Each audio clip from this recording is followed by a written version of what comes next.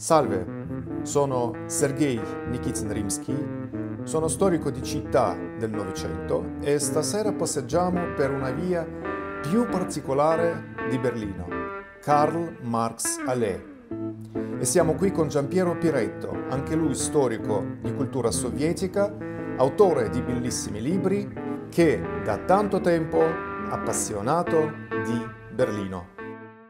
Ecco, siamo alla Frankfurter Tor stiamo cominciando la nostra passeggiata sul, sull'asse monumentale di Berlino dell'Est. Yes, sì. E praticamente la tua visione, perché quello che ci manca spesso quando vediamo queste, queste facciate un po' malinconiche, nostalgiche degli anni 50, è proprio l'idea come funzionava questo spazio uh, quando c'era ancora il muro di Berlino. E dunque penso che dedichiamo questo, questa oretta a scoprire, scoprire, guardare questi spazi. Prima di tutto volevo chiederti, quando sei precipitato a Berlino per la prima volta?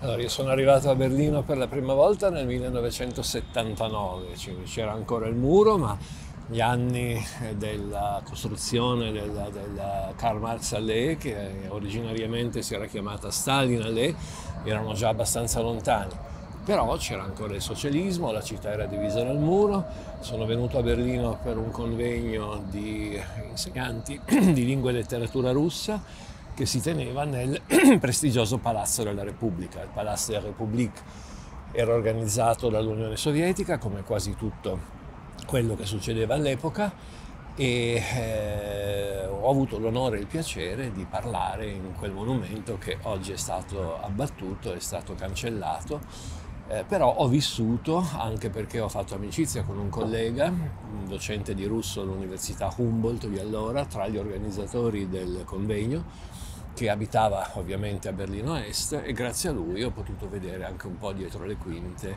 la vita della città. Passavamo in automobile, lui aveva una Giguli ed era molto fiero e orgoglioso di possedere un'automobile per andare a casa sua e lui mi diceva questa è come un'autostrada, questa è una specie di tangenziale. Lui non amava le tracce sovietiche nella sua città, insegnava russo ma amava la Russia pre-sovietica come molti dei suoi colleghi e quindi il mio primo impatto con la Karl Marx Allee, che già si chiamava così, e non più Stalin a lei, risale al 1979. Ho continuato a venire per due o tre anni, poi ho interrotto e ho ripreso già negli anni 2000 a muro caduto. Mm-hmm. Abbiamo saputo come il tuo collega guardava sì. queste cose. Possiamo anche nominarlo? O... Si chiamava Heinz Wilnat, eh, ha interrotto i suoi studi russi quando è caduto il muro ha abbandonato Berlino e è diventato un businessman in qualche altra città della Germania occidentale, quindi non ha perso tempo e ha lasciato.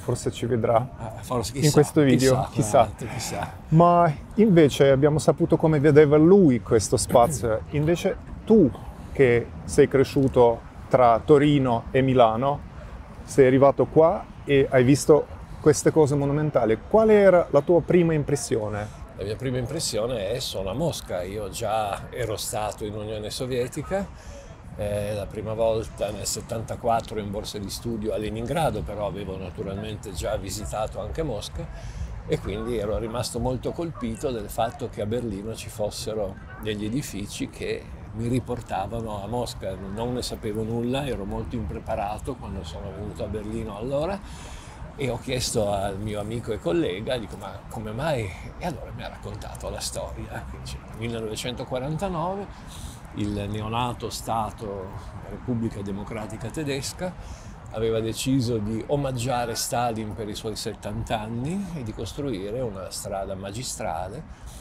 di cui la città aveva bisogno anche per le parate, per le manifestazioni, le sfilate politiche riprendendo il vecchio sogno di Hitler del, dell'asse centrale che avrebbe attraversato tutta Berlino, fortunatamente mai realizzato perché avrebbe previsto l'abbattimento eh, di gran parte della città. La guerra avrebbe fatto strage, come sappiamo l'80% della città fu eh, distrutta dalle bombe e eh, la DDR, la Germania dell'Est, decise di costruire questa arteria lunga diversi chilometri, di chiamarla Stalin in onore dei 70 anni di Stalin. E qui vorrei ricordare i prototipi di Karl Marx Allais, le vie monumentali che si costruivano nell'Ottocento e nella prima metà del Novecento tra Parigi, Berlino, Roma Mosca e Kiev. Qui vedete via Gorky, la strada principale dell'Unione Sovietica, Prachtstrasse che non è stata mai costruita, Chreshchatyk a Kiev costruita anche con l'aiuto di Alexander Vlasov. Andiamo a vedere ex Stalinale. Cominciamo. Pagare attenzione a queste panchine quasi fiorentine che ci ricordano i palazzi rinascimentali di Rucellai a Firenze, con le panchine dove la gente passanti potevano riposare. Le cose che in realtà a Mosca non hanno fatto. Non c'era questa figura di, di flaneur, di flaneur. ecco, urbano, eh, che noi oggi sì. facciamo flaneur, invece a Berlino hanno pensato a flaneur. Anche a chi si doveva riposare, oltre che sfilare, camminare e marciare. Sì, assolutamente. Può essere curioso ricordare che la gran parte di questi edifici sono stati costruiti con mattoni recuperati dalle macerie della guerra. Berlino era un immenso cumulo di macerie e sono passate alla storia le cosiddette donne delle macerie, Trümmerfrauen, le mhm. donne che hanno costituito delle catene umane e raccolto dai mucchi informi i mattoni ancora usabili, li passavano a secchiellate e questi, con questi mattoni si è iniziata la costruzione di questa immensa arteria, di questi splendidi edifici, possiamo dire splendidi perché al di là del significato politico che hanno avuto, sono, eh, erano edifici di grande prestigio. Ottenere un appartamento qui era un sogno per molti, sappiamo che lo Stato socialista idealmente non conosceva privilegi, quindi eh, in teoria non ci sarebbero state figure che avrebbero meritato più di altre un appartamento in queste nuove case eh, così comode e così esteticamente belle.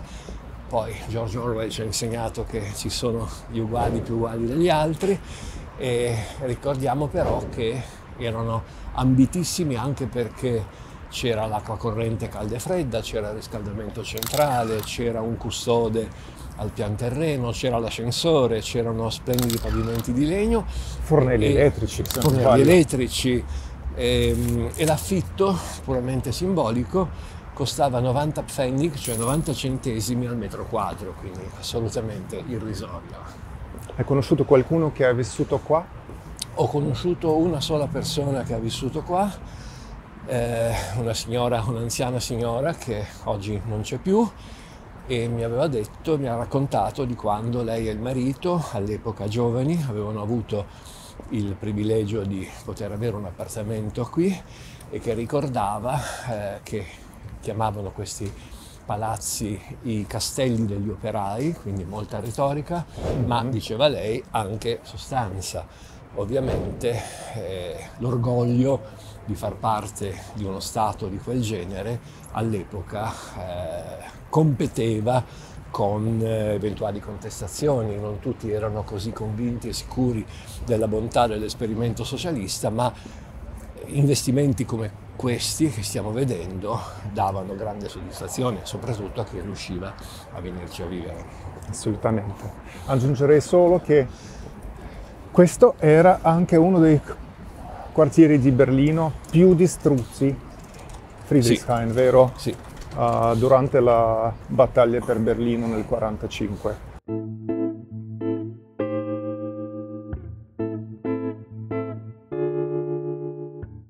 Dall'altro lato della strada, che era in realtà il primo, il primo arrivato su questa Stalinallee, su sì. questa Karl Marx Allee, perché la costruzione della strada inizialmente prevedeva una, una stilistica razionalista.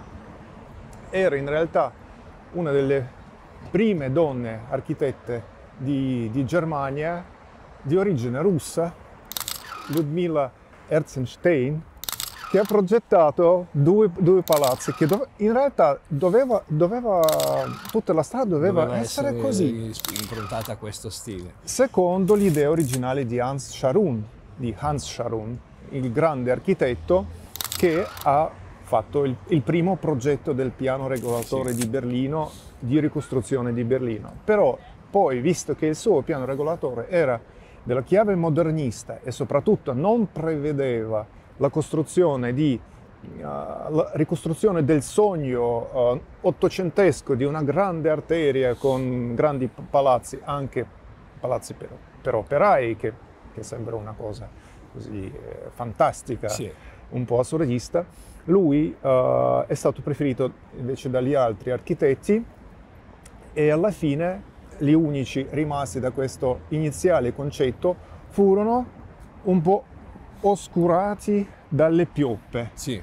che praticamente d'estate non si vedono, sembrano Khrushchevki, invece sono del 49. Allora, la leggenda che conosco io, non so se sia autentica o fantasia, è che i pioppi sono stati voluti per coprire questa citazione del Bauhaus che all'epoca era stata considerata capitalistica, formalista e decadente.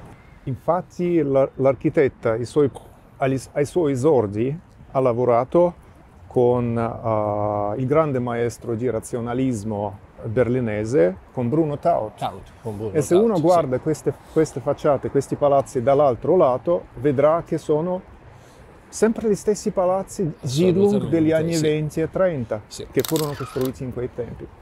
Però parlando del formalismo che era infatti abolito, ma era abolito non per tanto, perché poi è arrivato il momento di costruire una grande cinema Il cinema Cosmos. e il cinema era costruita ormai nel periodo che possiamo chiamare il periodo del disgelo, anche se in, in, uh, Germania qua non si usa questo termine. Tu sei stato in, Italia, questo sì. cinema? Sono stato in questo e sono stato anche al Kino Internazionale che c'è più avanti, anche su queste due realtà ci sono delle storie curiose da raccontare, forse racconteremo quella del, Mhm. del cinema successivo. Eh, hai citato l'epoca del disgelo, quindi anticipiamo quello che diremo quando arriveremo alle case dell'epoca di Khrushchev. Lo stesso Khrushchev intervenne dopo la destalinizzazione, quando la via già non si chiamava più Stalin Alley ma Karl Marx Alley, invitando gli architetti a lavorare con più semplicità, eh, risparmiando e investendo nelle vere esigenze dei lavoratori. Sappiamo che in Unione Sovietica le Khrushchevki, cioè le- appartamenti, le- le, mm, sì, modestissimi appartamenti eh, Minimi, case possiamo dire anche. assolutamente eh, ridotti al minimo le esigenze minime che una persona potesse avere, ma avevano il grosso vantaggio di non essere in coabitazione. Quindi l'idea di Khrushchev era di garantire ad ogni cittadino sovietico un appartamento individuale. Ricordiamo, per chi non fosse al corrente della questione, che la maggior parte della popolazione sovietica viveva in coabitazione nelle appartamenti comunitari e condivideva con altre famiglie l'uso dei servizi igienici, della cucina, del bagno e di tutto il resto. Quindi l'investimento crusceviano fu apprezzabile e notevole. Molte di queste case sono ancora in piedi adesso, a quanto ne so. Sì. La maggior parte di loro sono in, in piedi adesso. E ancora abitate. E adesso, perché visto che c'è an- ancora un po', un po' di sole, vorrei chiederlo Темная аллея, не абсолю- темная. абсо- абсолютно а, Темная аллея. Это кто? какой-то Бунин, го- Бунин. почти гоголевский бульвар. Ага, Да, очень похож. Stiamo parlando dell'alberazione che ricorda i viali di Mosca, boulevard di- dell'anello dei, de- anello dei Бульварное boulevard, кольцо, sì. Boulevard nel Calzò e anche qua abbiamo stessi tildi.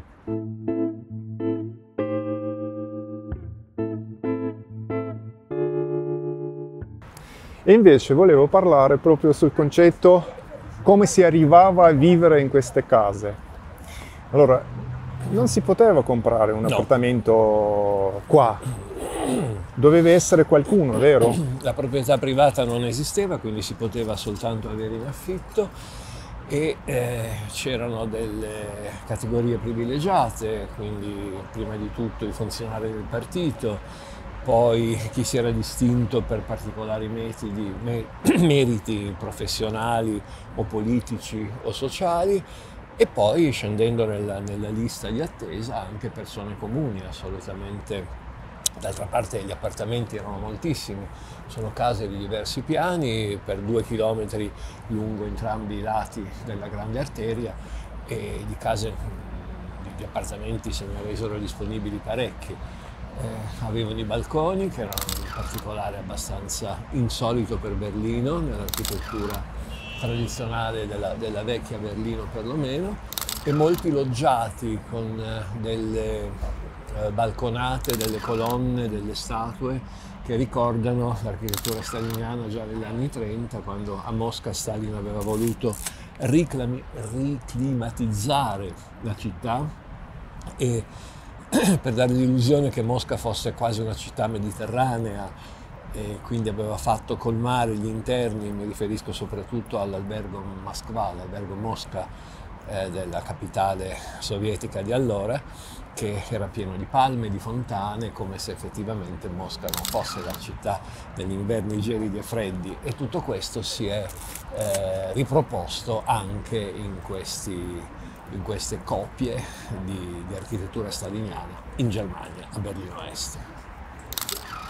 Ah, un particolare curioso sono anche i lampioni, che non sono i classici lampioni della DDR, il modello molto semplice e sobrio, ma sono monumentali quanto il resto del, degli ambienti eh, dell'ambiente richiedeva. Non potevano certo essere di fronte a palazzi come questi dei lampioni piccoli, modesti e, e bruttini.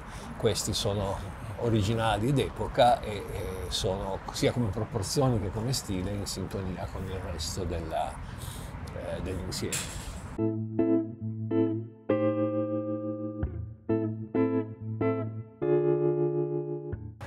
Questo Böhmische Küche, possiamo dire che qua c'erano i ristoranti di tutte le capitali eh, dell'est. Ah, capito. Dunque questo è uno delle... Questo è ancora originale della cucina cecoslovacca. Ah, e tu ci sei stato? Sì. Si mangiava si bene? Mangia bene? Si mangia bene, sono stato prima della, della pandemia, si mangia mm. bene. Pensare per stasera se non abbiamo altre mete. Mm. Capito. Possiamo parlare. Allora, Anche l'interno sembra sì, abbastanza originale. Sì. Ora, in questa via furono aperti molti ristoranti, caffè, abbiamo già visto anche dei cinema e un particolare curioso è che c'erano i ristoranti dedicati alla cucina etnica di tutti i paesi del patto di Varsavia, quindi un ristorante praghese, poi c'era quello ungherese, c'era quello russo naturalmente, arriveremo a vederlo, ed era anche una specie di ripasso sull'amicizia fra i popoli, il concetto retorico fondamentale, e forniva l'occasione ai cittadini di Berlino di sperimentare piatti diversi da quelli della cucina nazionale. Era, eh, era, un po' diventata la via eh, della movida, come si potrebbe dire oggi. Ah. Eh, c'erano caffè, c'erano i famosi Milch Bar, i, mm-hmm. i bar latteria, gelateria dove non si servivano alcolici e c'erano eh, locali che nella storia della cultura giovanile di Berlino sarebbero stati importanti e fondamentali. Ne parleremo più dettagliatamente quando arriveremo mm-hmm. a vederne qualcuno. Perfetto. Ristorante Giorgiano non c'era? Non c'era, Però. no. Dunque... No, c'era Moskva e poi tutto costava pochissimo per te, vero? Anche tu sei stato me, giovane sì. docente in quel momento lì, sì, vero? Sì, Nel sì, 79. Ero, ero giovanissimo precario. E, precario, già si usava questa parola nel, come, negli anni sì, 70? Sì, sì, sì, si usava come la precarietà non conosce limiti cronologici. Uh-huh e ero, io venivo da Berlino Ovest, quindi ogni giorno, ogni volta che passavo il muro, la frontiera, dovevo cambiare obbligatoriamente 25 marchi. 25 marchi dell'Ovest in cambio di 25 marchi dell'Est, al cambio ovviamente ufficiale. nessuno si azzardava a cambiare nero, anche se eh, era molto più conveniente perché i controlli erano severissimi e a tappeto. E quando arrivavo a Berlino Est con 25 eh, marchi, che erano una cifra considerevole per il settore orientale, ero ricco e allora eh, gli amici che mi ero fatto nel frattempo li invitavo sistematicamente a pranzo e a cena perché non avrei potuto ricambiare i marchi orientali in marchi occidentali, andavano spesi era o proibito abbandonati. Dunque. Era proibito, si sapeva che quello era un investimento obbligatorio senza ritorno. E allora eh, offrivo da bere e da mangiare con piacere agli amici dell'est che mi ricambiavano naturalmente. Ti sentivi il pascià? Mi sentivo, sì, il pascià dell'ovest. Il pascià dell'ovest, il capitalista che arriva.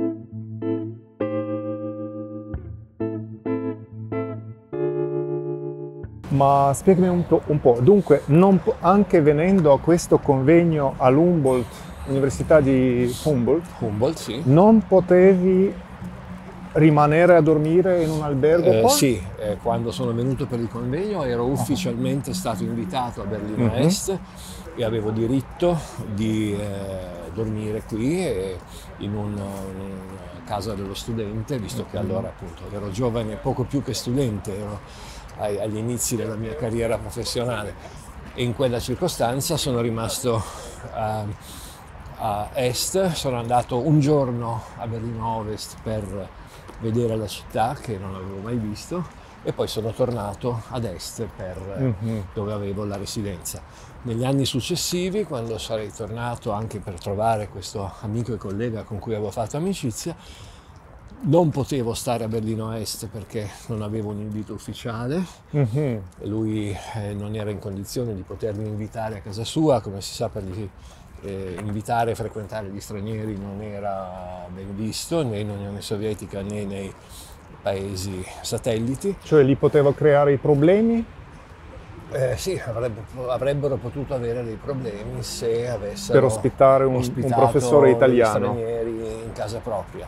Mm-hmm. Poi ci si frequentava liberamente, si andava in giro insieme, si andava a cena, a pranzo, a passeggio eh, però ogni sera a mezzanotte c'era il terribile, tristissimo rito, mi accompagnava a quello che si chiamava il Palazzo delle Lacrime, che oggi è stato restaurato ed è una specie di museo a Friedrichstrasse, dove ci si infilava nei sotterranei che prevedevano il controllo dei passaporti, controllo doganale, controllo del visto eh, che davano accesso al binario della S-Bahn che portava verso Berlino Ovest. Quindi il Palazzo delle Lacrime era una costruzione che esiste ancora oggi, è stata restaurata ed è diventato un museo e dava l'accesso ai sotterranei eh, che, mh, dove si svolgevano i controlli di passaporto, doganali e visto eh, attraverso i quali questi, questi, camminamenti controllati da cani lupo, poliziotti eccetera, si arrivava al binario della S-Bahn, nella stazione di Friedrichstrasse